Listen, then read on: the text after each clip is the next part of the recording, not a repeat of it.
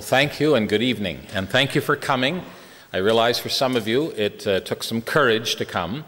Uh, you're not quite sure who this Nicholson fellow was and what he was going to say. And uh, I understand that uh, you have a busy life and there are many activities that uh, you could be attending. And I appreciate your willingness to come and to think with me uh, through the magnificent blueprint that has been given to us in the Word of God. A few introductory comments. I've included some of these in your notes. I understand that as we look at a comprehensive view of the church, there are many issues that some people would consider controversial. And I certainly am not interested in stirring up controversy or being argumentative. Obviously, uh, we want to deal with the scriptures as we see them. I want to be fair and honest with what the Word of God says as I see it. Uh, but I have no interest whatsoever in demeaning anyone or their position. I want to deal in good faith with all of God's people. Every serious Christian needs to be taken seriously. And I understand that there are issues that we can discuss, but we want to be gentlemanly about it and we want to appreciate that uh, we are fellow helpers to the truth, and none of us knows it all. And so, what we want to do is to open the Word of God, let it speak to us, and hopefully, rather than coming and checking off to see if the preacher's orthodox, allow the Word of God to speak to our hearts and to show us perhaps areas where we haven't seen things as clearly as we should. And there's an echo in this room. I don't mean the, the sound system, but the truth of God comes around and hits me too. And as I look into the Word of God, I, I will be convicted of things that, that I perhaps am a theorist in and not a practitioner. And so I trust that uh, all of us together will be willing to embrace the truth. This is what we read about the early church that those people who heard the message gladly received the word. They embraced it happily. They didn't make the concession, they didn't yield the point. They responded happily to the truth. And the scripture says that we need to buy the truth and sell it not. David said when he went up to Mount Moriah in speaking with Ornan, he was going to build a place for his God. And so Ornan, a pagan, said, Well, you can have it. If it's for your God, you can have it for free. And David said, Oh, I wouldn't give anything to the Lord that costs me nothing. I want to pay the full price for it. And so nothing will come of these sessions if we're not prepared to put something on the altar and say, I want to buy this truth. I want it to be real in my life. And whatever truth we buy, it's going to cost us something. If we're window shoppers and we come and hear the truth and we go away with just some talking points, then really nothing will come of this. And so I pray that uh, through the week, uh, the, the two weeks that we have together, there will be some beautiful things that you'll discover out of the Word of God. I can't think of any subject that's more magnificent than the doctrine of the church. And one of the reasons is the more I study the subject, the more I realize that the doctrine of the church is the doctrine of Christ. All of the portraits that are given of the church are really inconsequential if the Lord Jesus is taken out of it. What is a body without a head? What is a flock without a shepherd? What is a building without a foundation? What is a bride without a bridegroom? What is a branch without the vine?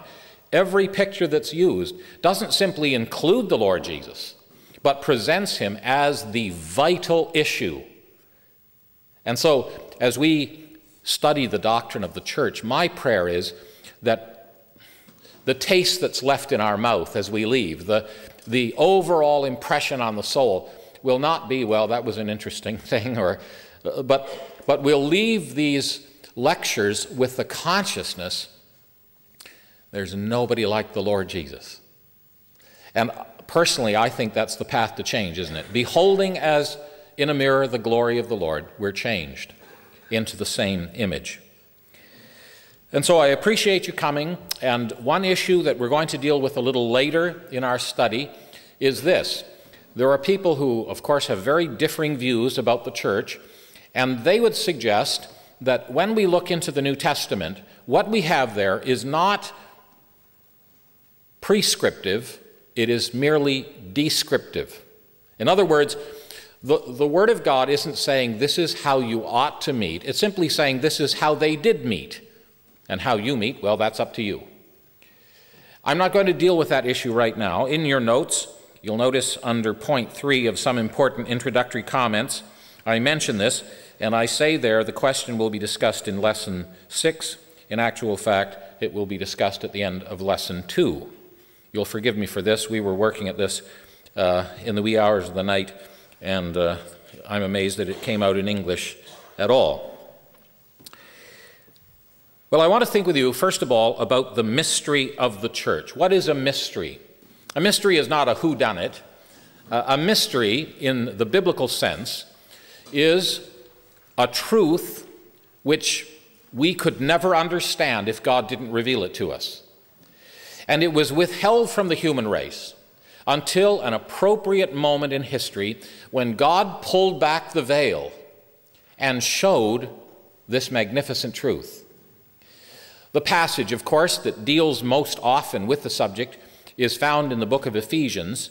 And there, the Apostle Paul writes these words in chapter 3 that in verse 3 that the revelation of the mystery was made known to Paul. And he says that revelation in verse 6 is that the Gentiles should be fellow heirs and of the same body and partakers of his promise in Christ by the gospel. And he links together two wonderful ideas. First of all, the gospel itself, in verse 8, he says, To me, who am less than the least of all saints, is this grace given, that I should preach among the Gentiles the unsearchable riches of Christ, and, and to make all see what is the fellowship of the mystery, which from the beginning of the world has been hid in God, who created all things by Jesus Christ. So he held these two truths, these twin truths up, and he said, on the one hand, it's been given me the privilege of proclaiming the gospel. The glorious news that those who are without hope, without God, in a moment of time may be transferred out of that hopeless situation and brought into new life in Christ. That they, in a moment of time, would become part of the family of God, their debt against God wiped out by the crosswork of the Lord Jesus. And they would become recipients of eternal life, their feet put on the path to heaven, the indwelling of the Holy Spirit, the intercessory ministry of Christ, the promises of God, all would burst upon their souls in one glorious moment. I was blind, now I see. What a wonderful privilege it is to preach the gospel. But on the other side, he said, Equally as wonderful is what he calls here the, the preaching of the mystery, the mystery of Christ. There are about 14 mystery doctrines in the New Testament, and one of the great doctrines is this mystery of the church. And what is it? It certainly isn't that Gentiles could be saved, because in the Old Testament, Gentiles were saved. We have the stories of Ruth and Rahab and Uriah the Hittite and many others. They were Gentiles, and they came into a living relationship with God. But he points out here the distinction. He says that something marvelous has happened. If we go back in the history of the world, I have a quotation here for you from 1 Corinthians 10, verse 32, which speaks about the three groups of people as God looks down in the world today the Jew, the Gentile, and the church of God the Jew, the Gentile, and the Church of God.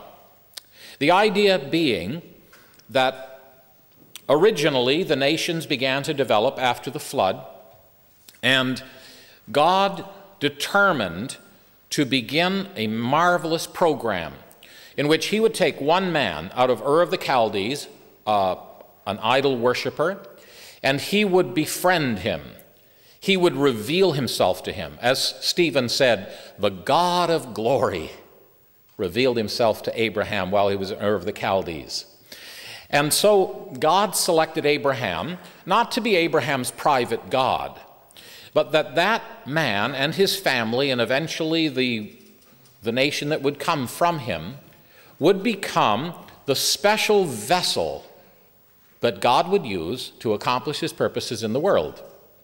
He would give through that nation the two greatest gifts that had ever been given to the human race. One was the written Word of God, and the other was the living Word of God.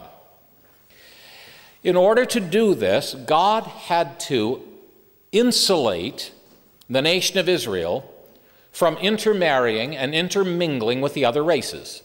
He had to preserve the messianic line so that eventually the Messiah would come and, according to Matthew chapter 1, would be the son of David, the son of Abraham. In order to do that, God built a wall around the nation of Israel. It's called the middle wall of partition, walling them off from the Gentiles. They had distinctive clothes, they had distinctive food laws, distinctive ceremonies, and they were not allowed to mingle with the other nations. And this was all to preserve the line of the Messiah. But when Messiah came, now God could take down the wall.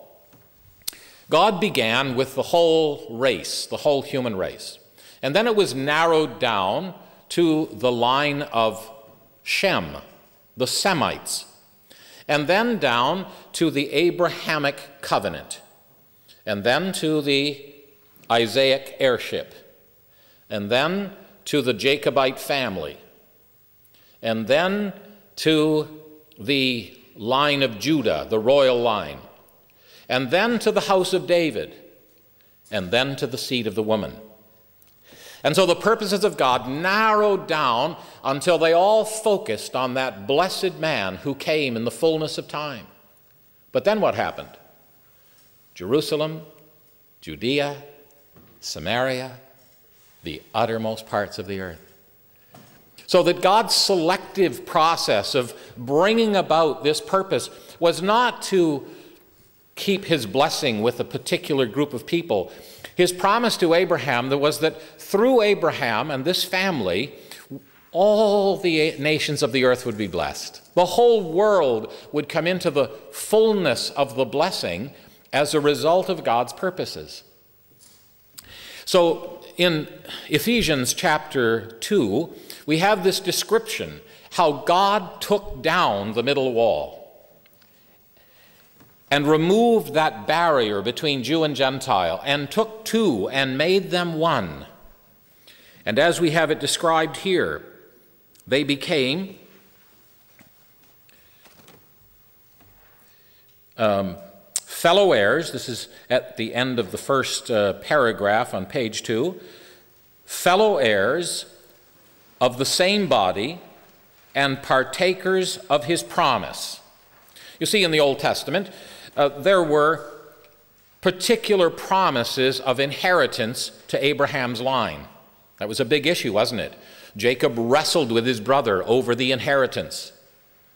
And the inheritance was an important issue to them. But now, all of a sudden, we who were not a people have become the people of God. And not only sons of God, but heirs of God. I know it's hard for us to believe, but the Word of God says that I'm as rich as God is he that spared not his own son, but delivered him up for us all, how shall he not with him also freely give us all things? He has blessed us with all spiritual blessings in the heavenlies in Christ. We were Gentiles. And so we have been brought in now to become fellow heirs, to share the inheritance of God Himself. And then, secondly, the same body.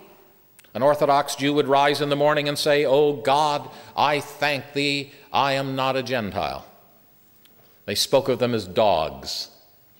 And oh, to think of it, that Jew and Gentile would be brought together in one body. Recently, I was contacted by a group of Arab Christians in Israel who asked if I might come over to speak at a conference which they would be arranging for the Jewish Christians to encourage them. They said they've been through a very hard time. And we want to have a conference and invite them and pay for it all and encourage them.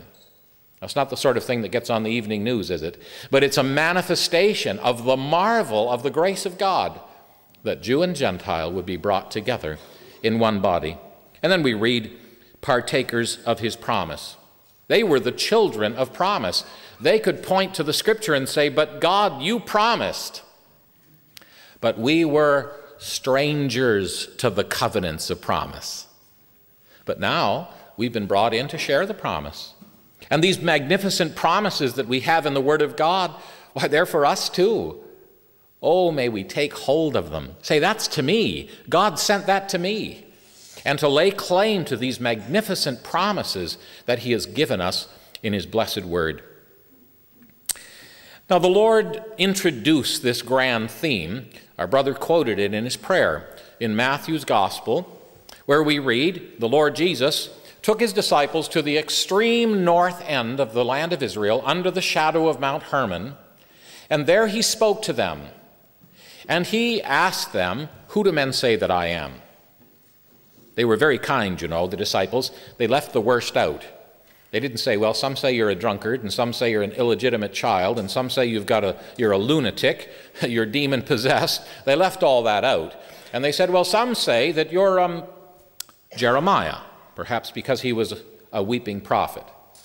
And some say you're Elijah, perhaps because of the miracles that he did. And maybe John the Baptist, because they had a bad conscience and they hadn't listened to John the Baptist. But whatever the case, he said, Who do you say that I am?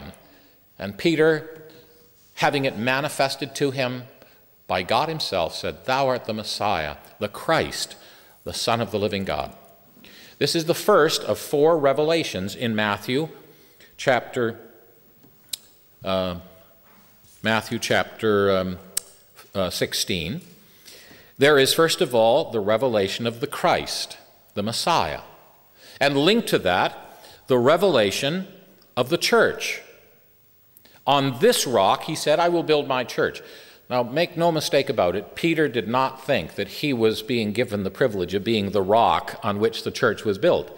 He himself is the one who tells us that we are built on that wonderful rock, that precious stone that has been cut out not with human hands.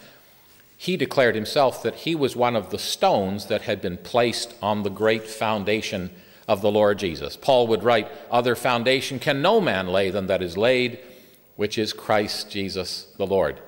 And so it was on the basis of this confession of Jesus as the Christ that he revealed to them the truth of the church. And then we have the revelation of the cross. From that time, we read, verse 21 of Matthew chapter 16, from that time forth, Jesus began to tell them how he was going to go to Jerusalem and he must die. And he revealed to them the truth of the cross. You couldn't have the church without the Christ, but you couldn't have it without the cross either. Christ loved the church and gave himself for it. It's a good thing to remind ourselves of that, isn't it? When we're having some difficulties in our local church, just to grab ourselves by the brain and say, wait a minute, this person was redeemed with the precious blood of Christ. To keep reminding myself that the people I interact with in my local fellowship, these people are blood bought, they are heaven bound, they are spirit indwelt. And when God looks down from heaven, he sees them as the most precious thing in all the world. So here, the Lord Jesus makes this declaration concerning his going to the cross. But before we get to the end of the chapter, he, he gives us the fourth C. He speaks about his coming. That he's not going to remain in the grave, he's going to rise again. And he's going to go away for a time, but then he's going to return and he's going to establish an eternal kingdom that will never know an end. These are the four great themes of the New Testament the Christ, the church, the cross, and the coming. Now, when we try to understand what the term church means, Of course, we have all sorts of notions that have grown up over the years. People think of a building as a church, or they think of a particular denominational group as a church, or an organization. But when we look to the Word of God, we discover that the word church is used in a very specific way. It always has to do with people. And it has to do with a certain kind of people.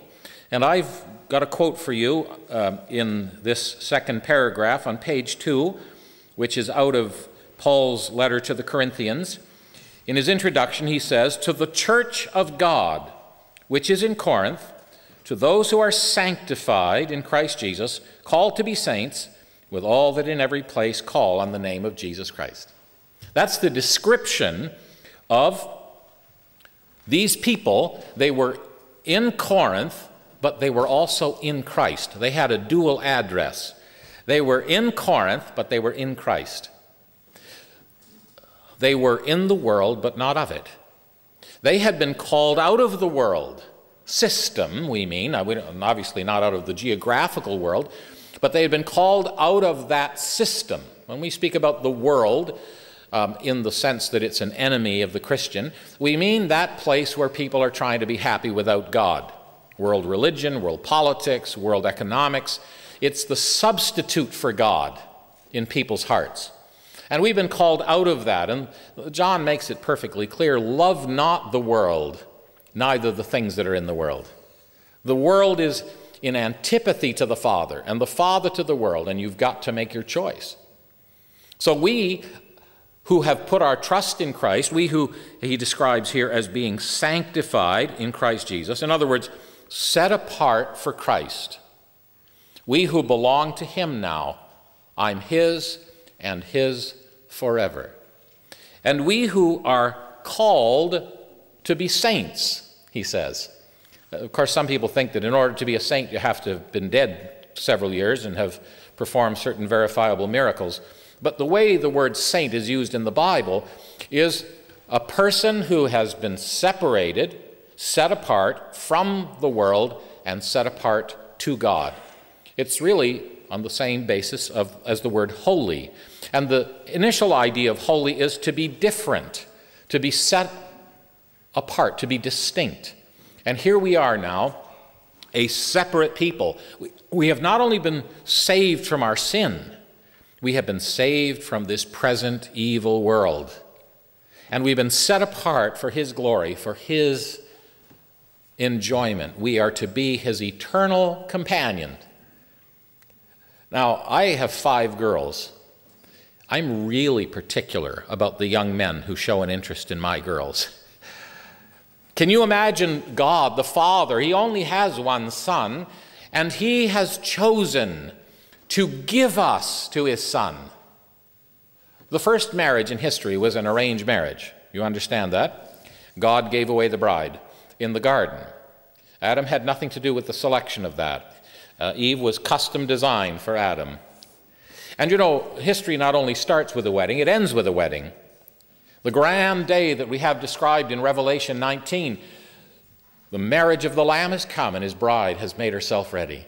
And that also is an arranged marriage, isn't it? And God is calling out of the world a company for his son. They are not simply to be workers in his business. When Jesus came, he didn't come to hire people to work in his company. He came to woo a bride. And he's far more interested in our love than he is in our service, you know. Now, if he has our love, he'll have our service too, but it will be a labor of love, won't it? We'll want to do it for him. We won't feel obligated or guilty if we don't do it. We'll serve him just because we love him. And that's the key of the happy Christian life. You cannot have holiness based on fear or guilt. Holiness is a love relationship with the Lord Jesus. Now, when we see the words of the Lord Jesus I will build my church. Let's emphasize each word as we go through it. I will build my church. See, that's a bit of relief, isn't it? There are some of you here and you're working hard, seeking to, to build a church. And sometimes we grow weary and we feel like giving up. And we need to hear the words of the Lord Jesus when he says, I'm doing it. I, am glad for your help. Your workers together with me. I'm, I'm happy to work with you, but I want you to understand that this is a program that I began. I designed the blueprint. I paid the price for the product, for the, for the building materials. Nothing will stop me from doing this. I will build my church, and the gates of hell shall not prevail. And then, secondly, I will build my church. The will of the Lord is that he might have a bride, and he is going about doing it. When we go to sleep at night, he doesn't stop working. All around the world, he has his agents, and he's right on schedule. He's, he knows what he's doing. And sometimes I think we assume that not much is going on because we don't hear what's happening. But the Bible says, judge nothing before the time until the Lord comes, because he'll reveal what he's been doing. There are a lot of Christians, and they're convinced that the Lord Jesus is altogether lovely, but they're not so sure he's done all things well.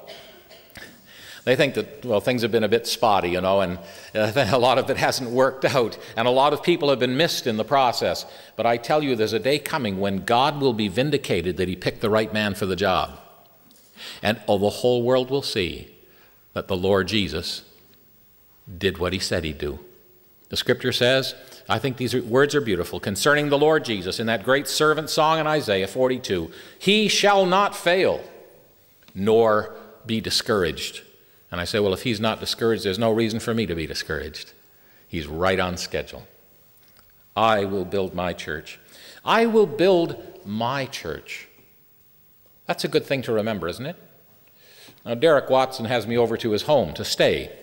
Suppose I, I came in and he said, Well, this is your room, and you know, you're welcome. Here's the fridge, and, and uh, here's the phone to use, and so on. And I say, Well, Derek, this is very kind of you, but you know, this wall here, it just offends me. I don't like that wall. But it's all right. I carry a 10 pound sledgehammer in my bag just for this very reason. You won't mind if I remove the wall, will you? And Derek would say, well, no, actually, that could get in the way of our fellowship. I, I kind of like that wall there. And the last time I looked, this house belongs to us, so if you don't mind, just keep your hammer in your bag. You know, there are people who walk into a church and they think that they can bring in a sledgehammer and do whatever they like with it. The Lord says, It's my church. I paid for it with my own precious blood. So I would like you to cooperate with me. I'd like you to work with me, but I really would appreciate it if you do it the way I designed it. It's my church, you know, it's not yours. And I want it a certain way. And then he says, I'll build my church. And here we come to this word. What does the word church actually mean? And on page three, I have a little uh, selection there that gives us some of these word definitions. You'll notice that when the term church is used, I have several verses there that speak about the ears of the church. And that's, of course, a rather humorous idea. If you think of ears on a building, it was obviously the ears of the Christians. And that the church can pray and the church can be persecuted. So, obviously, the way the word church is used in the New Testament, it has to do with the people. The church is made of living stones.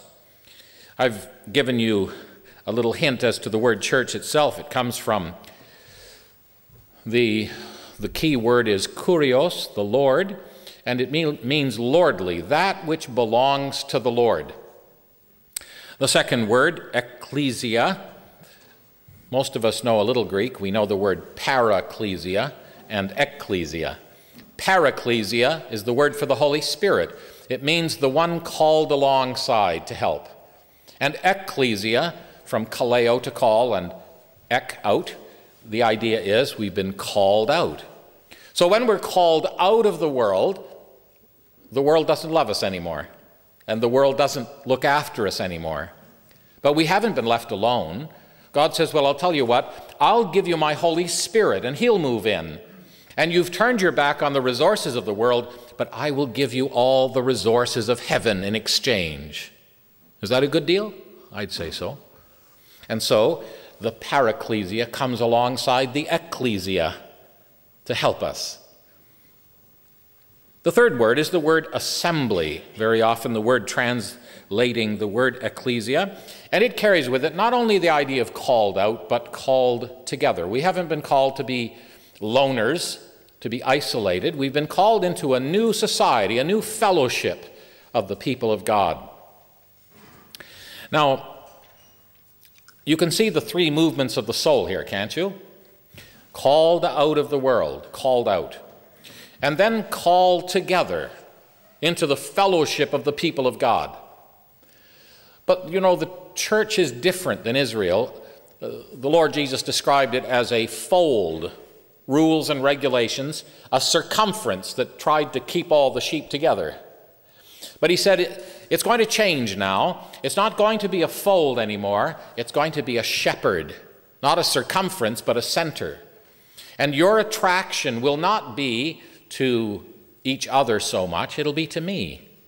And because you love me, you'll learn to love one another.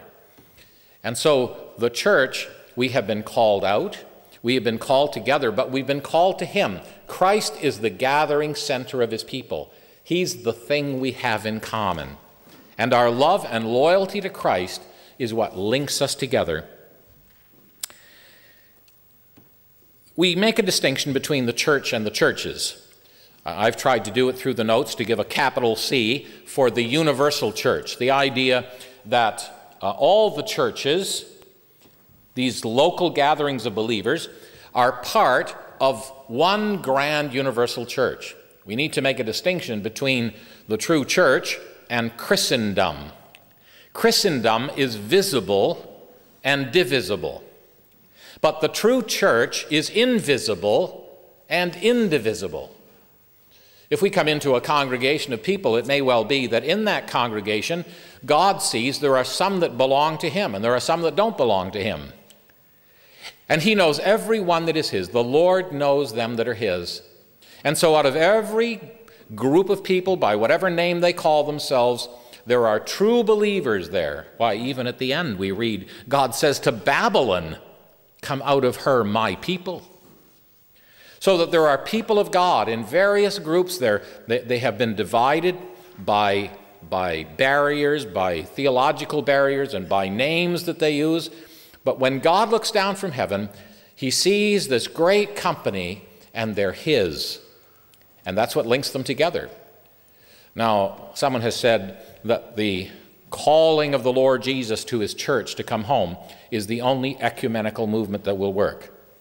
When all of God's people respond to the call of their bridegroom when he says, Come up hither. But in the meantime, we recognize that God's people are linked together by this wonderful unity that has been produced by the Holy Spirit of God. And we'll think about that in our next session. What happened at Pentecost, and how did individual believers become one body in the Lord? But I would like to make this distinction that the universal church is composed of every true believer, past, present, future. Most of the church is already home with the Lord. And someday we're going to see that great company, that multitude on high, the spirits of just men made perfect, and the redeemed of the church age. But then there are these local congregations. And the purpose of the local congregation is a very practical one. It's impossible for the universal church to get together until that glorious day when the Lord calls us home. So at the present time, we're gathering in little groups of believers, and the purpose of that is to make the church visible to have a testimony in the world, to let the world know that there are those whose loyalty and love is to the Lord Jesus. And we have some of these descriptive terms that describe the purpose of God towards the church. Christian, He didn't save you just to keep you out of hell. He didn't save you and bring you into the church just to entertain you on the way home to heaven. God has some big, big plans for His people and I've quoted some of them here in your notes, that we should be holy and without blame before Him in love. We are the friends of God. We've been brought into the intimacy, the fellowship of the divine persons. On one occasion, Winston Churchill was privy to a conversation on name dropping, and he said, I despise name dropping. I said that just the other day to the Queen. Well, you talk about name drop, dropping. Here we are, the friends of God. The intimates, the confidants of heaven. He has made known to us the mystery of His will. He's brought us into the big plan. He's linked us with His Son. He sent His Holy Spirit into our hearts. And His purpose is to bring us into the fellowship of the divine persons. These are big plans, aren't they? To bring us into the family of God. God had one son. He was so pleased with that son that he had that he was willing to give him up to the cross and all that that meant. That through his death, the Lord Jesus might bring many sons to glory. That he might someday stand and say to his father, Behold, I and the children whom thou hast given me. To be a family with God. And then he speaks of the beginning of a harvest, the corn of wheat that fell into the ground and died that he might not abide alone. Years ago, I was out uh, in a farming community in Saskatchewan, and I was, they'd asked me to speak on evolution and creation to the young people, and I used an illustration. I was talking about uh, the balance of nature and how important it was, and used an illustration that if there were no uh, frogs or fly swatters, in one year, from two house flies, you'd have enough flies to cover the earth 10 feet thick. Well, this man came to me and said, Look, you gave an excellent little talk there, but that illustration blew it. There's no way in the world that two flies could produce that many in one year. And I said, Well, you know, that's geometric progression. You ever hear the story about the man who invented chess? And um, the, the king wanted to give him his weight in gold, and he said, Well, I'd rather have something else. I'd rather you put one grain of wheat on the first square of the chessboard, two grains on the next one, four on the next one, eight on the next one, and double it through the 64 squares of the chessboard. I'll take the grain instead. The, thing, the king thought he got off easily, you know. I said to the man, How much do you think, how much grain do you think that was? He said, Well, I don't know. I said, Well, let's say um, a thousand bushels of wheat. Do you think it's more than that or less than that? He said, Well, probably something like that. I said, Well, I'll tell you what. If it's less than one ton of wheat, I'll pay you your weight in gold. But if it's more than that, you owe me the wheat. Well, he thought he got off easily because he had a wheat farm. Well, he went back and he started to calculate how much wheat it was.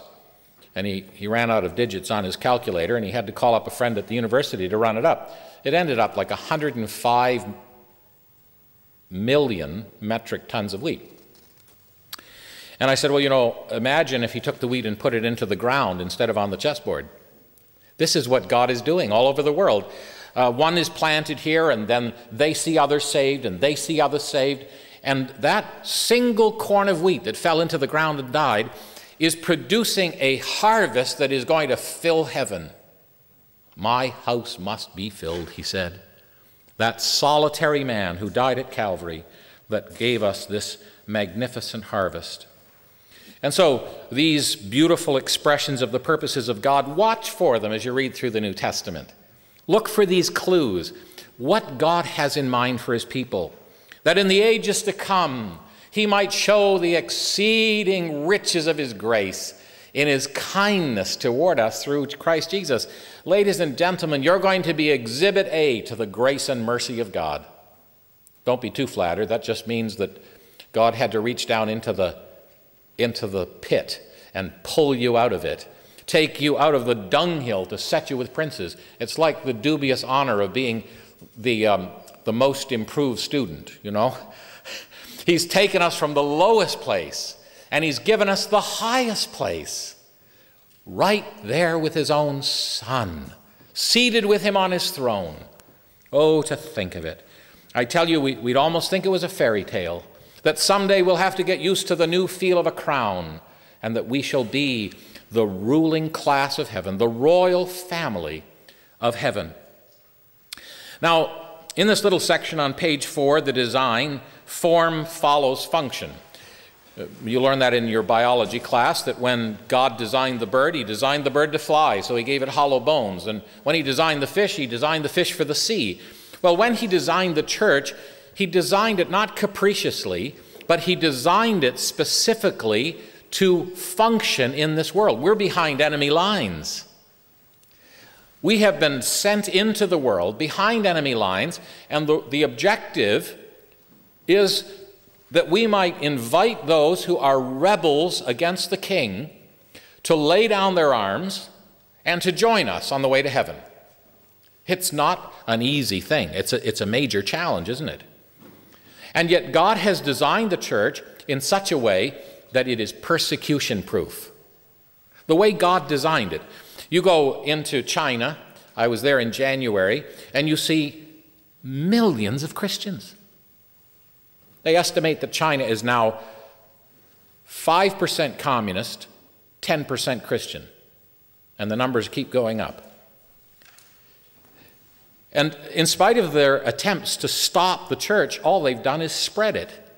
They put them in prison, and then everybody in prison gets saved. So they say, we better spread these people out, you know. well, all they're doing is transplanting the gospel until it's spread through the world. Everything the enemy tries to do, well, ends up for God, doesn't it? He ends up, I mean, he, he doesn't mean to be an evangelist, but he's so hard on people, he drives them to Christ. And the work of God continues apace. We look around and think, well, not much is happening.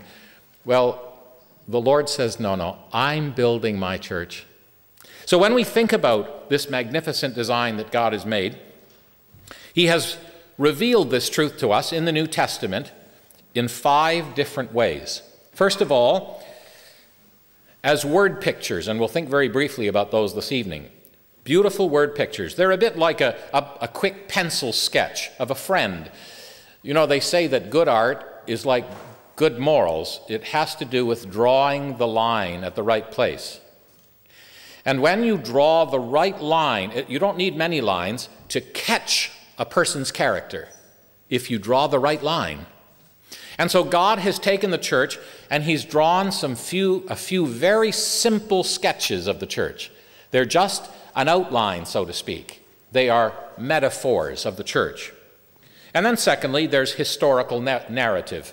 The church is rooted in history, and the book of Acts is the story of the early days. And in our next study, we're going to transport ourselves back to that first century, to that little company of believers gathered in the city of Jerusalem, with the Sanhedrin plotting to destroy them, and the Roman Empire rising up with its mighty forces trying to choke the life out of the church, and the gates of hell scheming and plotting to destroy the Christians and we see them marching triumphantly across the Roman Empire until there were millions that had been brought in to the glorious truth of the cross.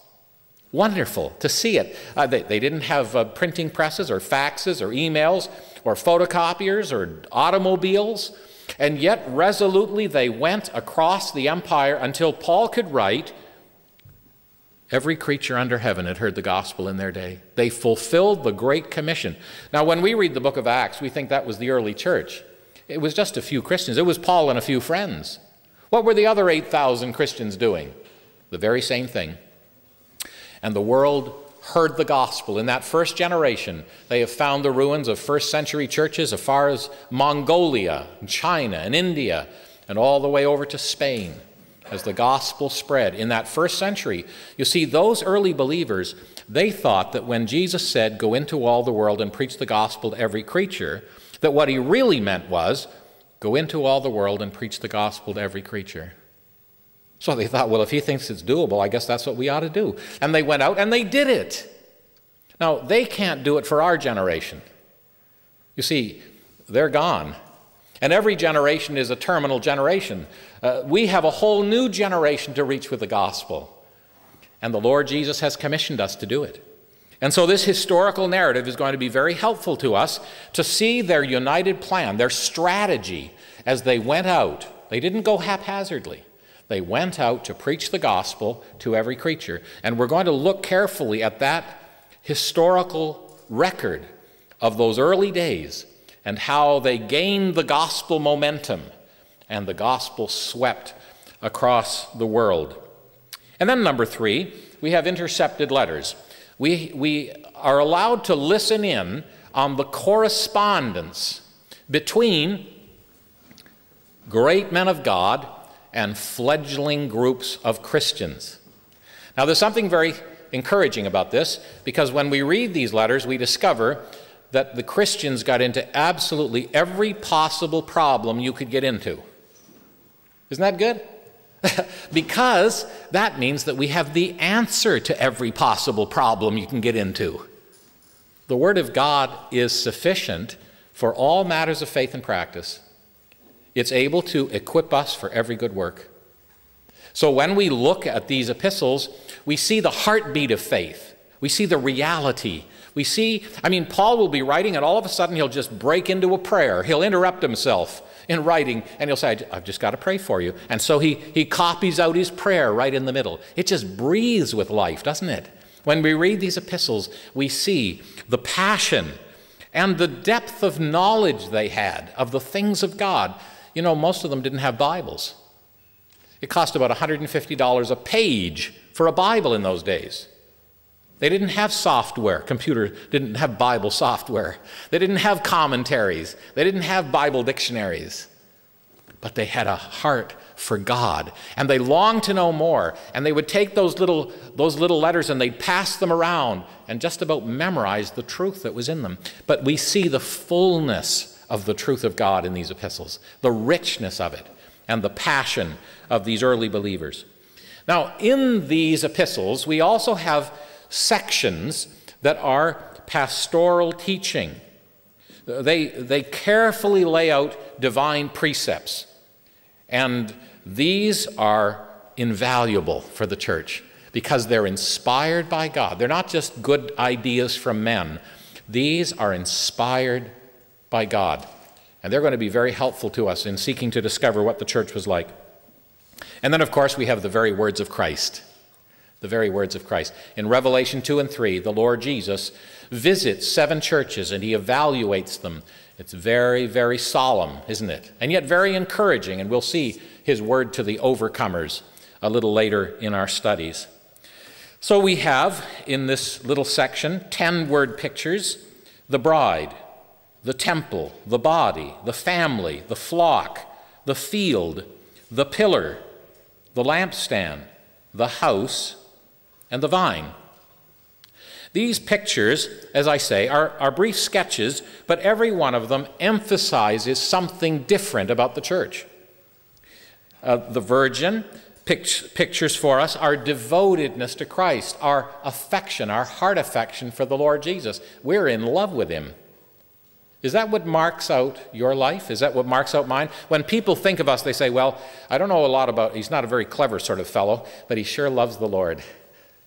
Is that, is that what people think of when they think of you? He's a lover of Jesus. Is that what they think of our local churches? If, you, if I went and knocked on the doors of the neighbors round about the building where you meet, and I said, These people down the street here, what, what would you say about them? Well, I don't believe what they believe, but they sure believe it. They, you know, they really love Jesus. Is that what they'd say about us? Well, that's the purpose of this little picture. This young woman who's madly in love with someone, who keeps herself from anyone else that would rob her of her affection, and her heart is all for him. The, the temple or the building, well, there's a plan here. You ever seen a man build a building? He thinks, I'll, I'll, go and do a little building today. And he comes over and he throws a stick here and a, a, a roll of uh, a tape over there, and he, he puts a few wires over here and a brick there. And no, no, no. He's got a blueprint. And he, he builds in a certain orderly fashion, doesn't he? Well, there's a plan here that God has given to us on how to build for eternity.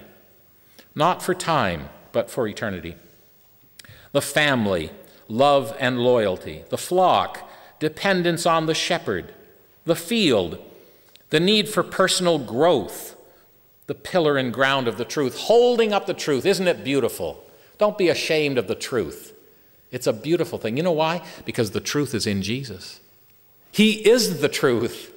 And this world is dark and getting darker every day. And it's the privilege of the church to hold up the truth above the rabble, above the arguments and all the silly things that people say. Jesus said, If I be lifted up, I'll draw men to me. That's what we need to do in our gospel preaching, in our public ministry. We need to say, Isn't he wonderful? And hold up the Lord Jesus. It's the role of the church to do that, to lift up the Lord Jesus. Are we doing that in our communities? This year, did people learn more about Christ from your local church than they did last year? I mean, do they know about him? Is he the best kept secret in town? This is the role of the church. These portraits are so important, and I encourage you to look at them in some detail on your own. In this first study, I've tried to emphasize not so much the mechanics of the church, we're going to think about that a little bit, but the, the dynamic. In other words, not so much the form, and we'll get to those things, but the, the driving force, the heart of the early church. Oh, how they loved the Lord Jesus, how they loved the gospel, how they loved souls for Christ, how they loved the Word of God, and loved each other. We need to get back to that, don't we? That, that passion for God. And so I leave this with you as we, as we come to the close of this first study. Whatever else to say about the church, it's absolutely nothing without the Lord Jesus. He's the one who paid the price for it. He's the one who planned it in the first place. He's the one who laid the foundation, who laid his glory in the dust, who laid down his life that he might become the foundation on which our lives are built. He's the Lord of the churches. He's the great high priest who prays us home every step of the way.